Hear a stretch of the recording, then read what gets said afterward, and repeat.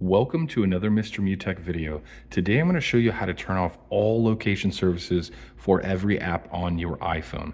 So basically, if you do not want apps to be tracking you and where your location is at any given time, I'm going to show you how you can remove it from every app on iPhone today. Now, I will be using the latest iOS update, which is 18 to do this. So let's get into it. The first thing you want to go ahead and do is open settings on your device. Then what you're going to want to do is scroll down until we see an option here soon for privacy and security.